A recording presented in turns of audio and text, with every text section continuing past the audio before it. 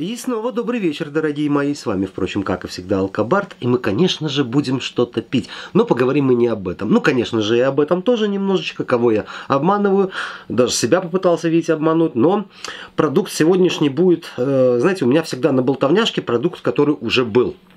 А сейчас продукт, которого уже не будет. И я сейчас поясню, о чем идет речь. Дело вообще в вот это вот забывчивости в алкогольном опьянении. Как вы понимаете, наступила зима. Соответственно, мы решили, что все вот это вот то, что нам до весны не пригодится, надо куда-то убрать, чтобы оно под ногами не валялось. А у меня гараж, он же сарай, недавно в нем снимал, если кто помнит, он вообще двухэтажный. И на втором этаже у меня склад вот этого всего, что, конечно же, скоро пригодится, но не в этом месяце. Соответственно, туда убралась там сушилка для овощей, какая-то косилка, еще что-то. Ну, вот это все позакидывалось туда. Лезу я по этому второму этажу. Отпихиваю очередной ящик, и ящик так делает дзынь, такое красивое. Я думаю, ни хрена себе.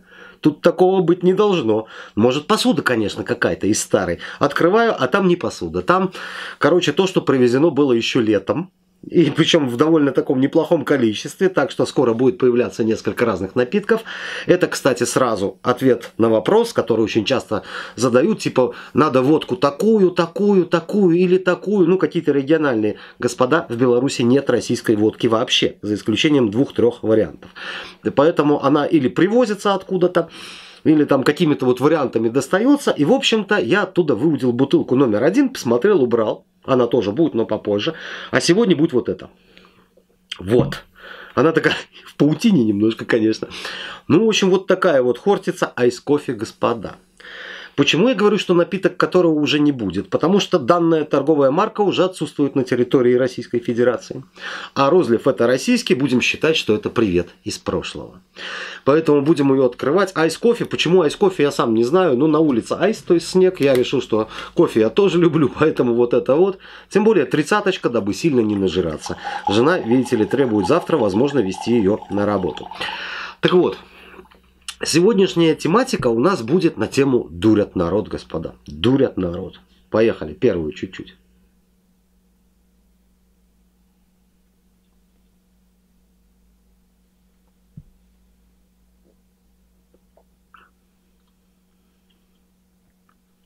Прикольно. Прикольно, но ожидал послаще почему-то. Я честно думал, что оно будет слаще. Написано настолько горькое. Ну, понятно, сахара немного. Но вот как-то я ждал чего-то такого. Оно кофейное, да. Оно слабенькое, ну, 30 градусов. Нам-то что? Но вот я ожидал какого-то более сладкого привкуса. Ладно. Как, вот дурят народ, слушайте. Как у нас дурят народ. Это подчеркнуто из комментариев разных, из писем, из в личку всяких вот всего и так далее и тому подобное. И вычленено из этого примерно следующее. Во-первых, народ, конечно же, дурят, потому что себестоимость спирта там на бутылку водки 20 рублей, а все остальное, ну, в общем, жируют эти производители. Жируют и жрут за наш счет, а мы, бедненькие, пьем и плачем. Ну, давайте так. Во-первых, про себестоимость спирта. 20 рублей даже я когда-то называл на каком-то из заводов, вспомнил даже на каком, э, когда мы это дело обсуждали, сумму от 15 до 20. Ну, ребят, если честно, даже чуть поменьше.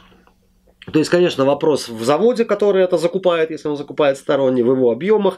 Но вообще цена спирта для заводов как бы многим недоступна, скажем. И тут вопрос даже не в том. Большинство вот этой цены составляет акциз, составляет наценочка продавца в магазине, а, собственно, сам процент производителя, ну, скажем так, на обычной средней водке, то есть просто вот ширпотреб, который у вас в магазине стоит – Господа, вы, конечно, будете плакать, но 10-20 рублей из бутылки. Все. Это то, что получает завод. И, кстати, поэтому очень многие стараются сейчас выпускать всякие премиалочки, еще что-то еще. Потому что на премиалочки там можно приклеить побольше. Но на вот стандартном ширпотребе 10-20 рублей из бутылки. Все. Все остальное уходит по большей части государству которая, конечно же, тоже дурит народ рассказами о том, что они тут все эти средства пустят на борьбу с алкоголизмом, ну еще что-то. Ну, ну вы поняли, короче.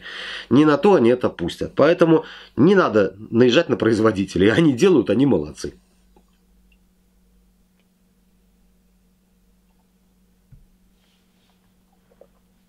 Далее. Далее. Следующий вопрос. Это очень часто встречается от э, фанатов дистиллятов, от вот этих вот коньячных экспертов и так далее. Типа, мы-то можем определить, какой спирт хотя бы там, а спирт-ректификат невозможно даже определить, из чего он сделан, из какого конкретно сырья. Ну, если отмести вот эти вот идиотские идеи про китайский спирт из говна, над которыми любой адекватный человек будет долго ржать, ну, если он не сильно испорчен телевизором, в смысле НТВ, а так, логически поразмыслить, э, и я вам скажу, что, простите, любой дегустатор на заводе с таких идей ржет просто дичайше. Потому что, ладно, дегустатор на заводе. Мне в свое время представители саранского ликера водочного сказали, а мы тебе сейчас слепой тест сделаем. У нас чистые росы, вот три вида. Один ты точно пил, а два точно нет, они у нас новые. Я говорю, ну давайте. Ну, я как это, отвернись к стене, посчитай до 10, мне налили смотрят на меня так хитро, знаете. Хитро. Я говорю, покажите бутылки, ну, то есть, вот поставьте бутылки, я около, не около, каждый поставлю что. Ну и вот так, вот это чистая, я ее знаю, вот это такая, вот это такая. Удивлению немножко не было предела. Но любой дегустатор на заводе, а особенно сертифицированный нормальный дегустатор, с легкостью вам скажет сырье, из которого водка изготовлена. Просто с легкостью. Потому что это очень четко чувствуется. Э, на тему того, что невозможно определить, еще лет 10, там, 15 назад можно было так говорить, но сейчас уже нет. Сейчас уже есть аппаратура, которая позволяет определить сырье изначальное. Но, правда, стоит она, конечно, каких-то бешеных денег. Я могу вам сказать, ну, то, что я знаю, в Беларуси такой аппарат вообще только один у Минск Кристалла. Поэтому, если есть какие-то вопросы там с везенным откуда-то из-за границы материалом, то это все поступает к ним. И там раскладывается по полочкам четко, из чего оно создано. Меня к этому аппарату, кстати, даже в свое время на кристалле не подпустили. С хроматографом можно было прямо играть с кнопочки нажимать, да? А к этому не подпустили, видать, боялись, что я на него дыхну, и он поломается. За что и выпьем.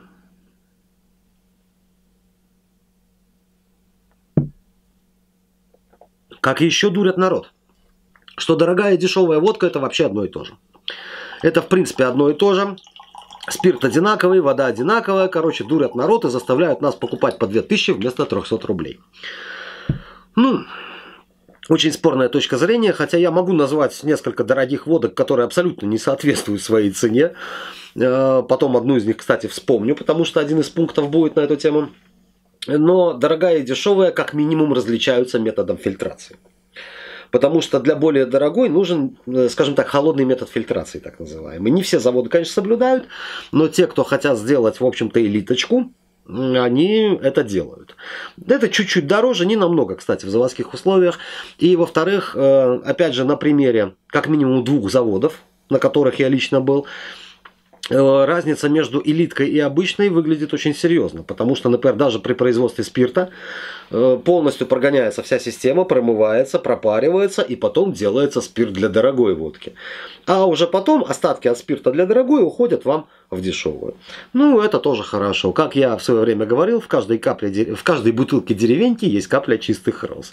Это, кстати, один из заводов, вот считайте, я вам уже назвал. Поэтому Рассказывать, что дешевая и дорогая одно и то же, абсолютно нет. Абсолютно нет. Но тот спорный вопрос, что дорогая может оказаться говном, конечно же, никто не отменял. Поехали.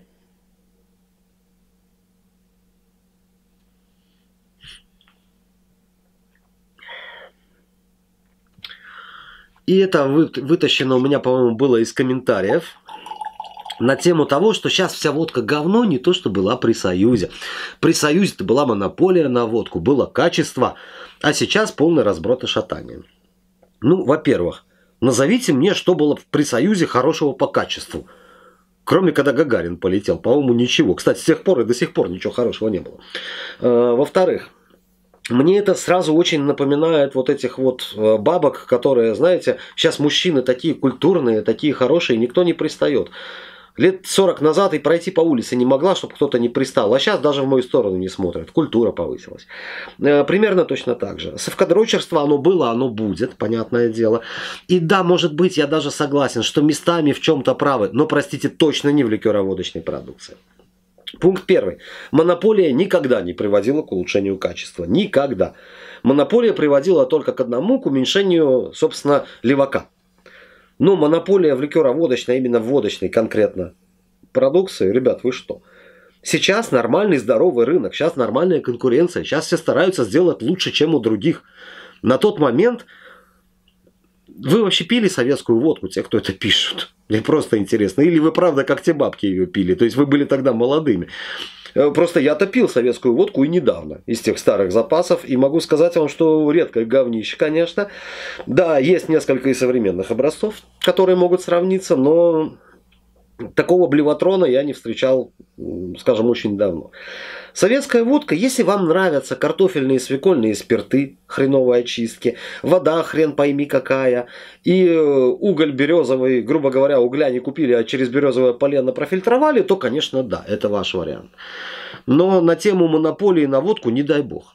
Это все, это капец всей, не, не то что продукции, это капец отрасли. Вообще полный. Поехали.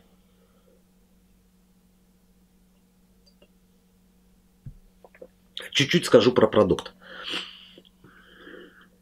Странно, но прикольно. Странно, но прикольно. Честно, я от этого ожидал откровенно большего.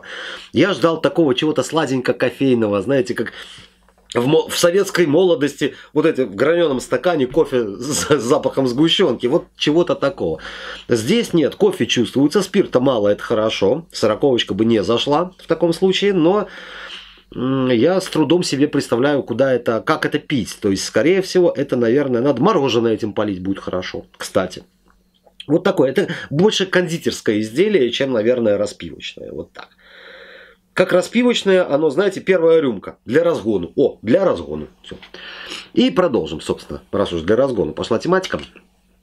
А, про чем мы сейчас говорили? Про СССР и монополию. Тогда про следующее мнение. Э, впервые я его услышал от одного моего знакомого, который в свое время просто сказал, никогда водку пить не буду, только благородные дистилляты, только вот это все. И где-то с 40 лет плавненько перешел исключительно на водку. Сказал, все, хватит мне этой сивухи вот жрать. И сейчас, более того, немножко сдвинулся на тему, водку надо брать только чистую спирт-вода. Все остальное от лукавого, вы сами понимаете. И все вот эти вот присадки-улучшайзеры призваны исключительно для того, чтобы скрыть какие-то недочеты. Частично я с этим согласен.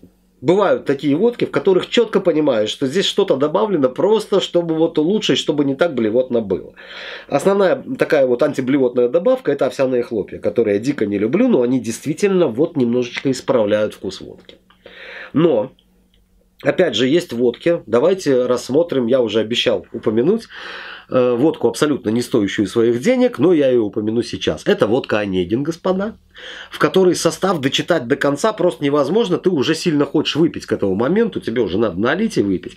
И понимаешь, что какого хрена оно стоило этих денег, непонятно. Но там, скорее всего, судя по составу, народ пытался вывести нечто прекрасное, нечто свое такое волшебное.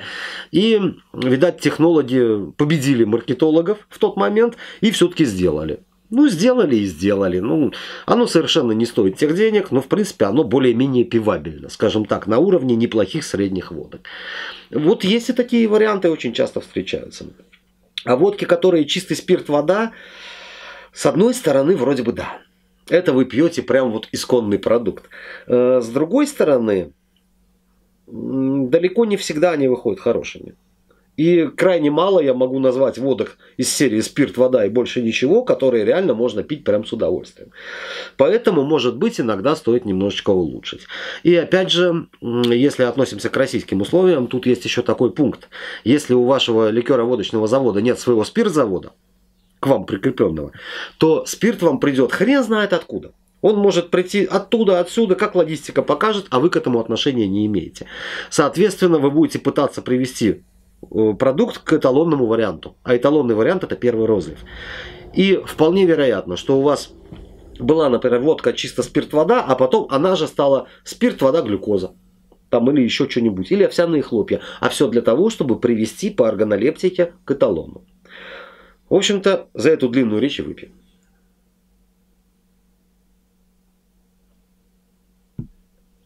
Заболтался, но осталось всего два пункта. Так что потерпите.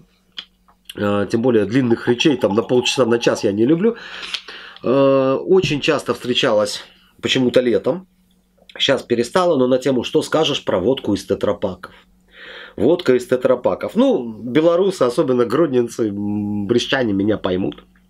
Водка из тетрапаков это святое, это на польской границе, просто особенно Ельцин вот этот, да, в литровых, в трешках, все прут как сумасшедшие. Потому что это же качественная водка, не то, что наша.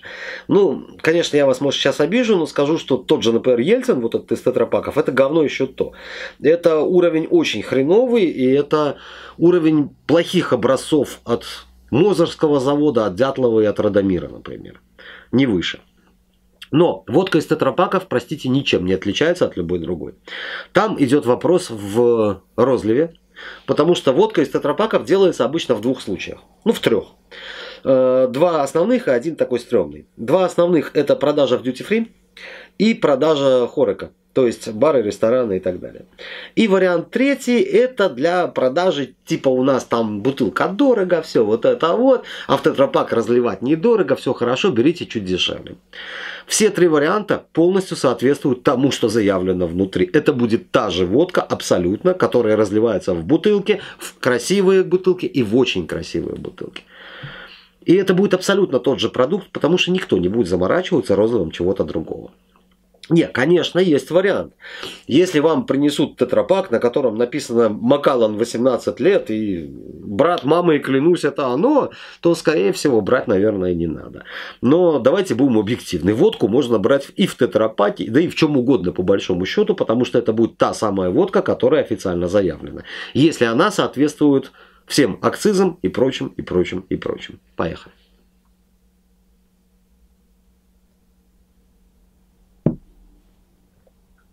Заключительно. Заключительно. Я вот сейчас думаю, я после, я же хотел кофе попить после записи, я уже кофе пить не буду, я уже кофе напился. Э, заключительное про что?